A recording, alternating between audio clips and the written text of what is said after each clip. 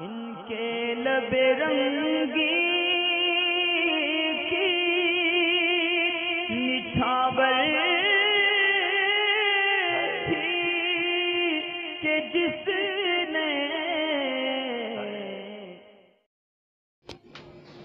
वालेकुम अस्सलाम वरहमतुल्लाह एक साहब ने रोटी ना खाने की कसम खाई है कि एक महीने तक रोटी नहीं खाएँगे। इस एक महीने के दौरान क्या वो बर्गर खा सकते हैं? माशाल्लाह माशाल्लाह। क्या कसम खाई है कि रोटी नहीं खाएँगे?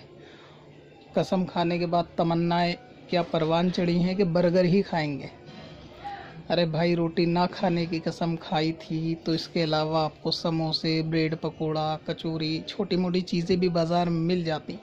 रुचि सोया की तरह आपने तो बुलंदी इख्तियार कर ली, सीधा बर्गर ही खाएँगे।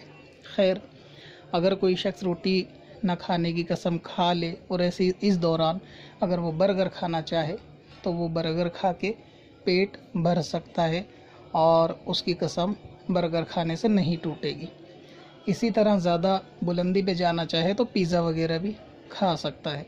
मगर ये सारी चीज़ें जो हैं वो इसकी कंटिन्यूटी करना, इसको लगातार इस्तेमाल करना, ये सेहत के लिए जो है नुकसानदेह होती है। तो कभी कदार ठीक है इसके अलावा बाज़ार में दूसरी खाने पीने की चीज़ें हैं कि जिससे पेट भर सकता है।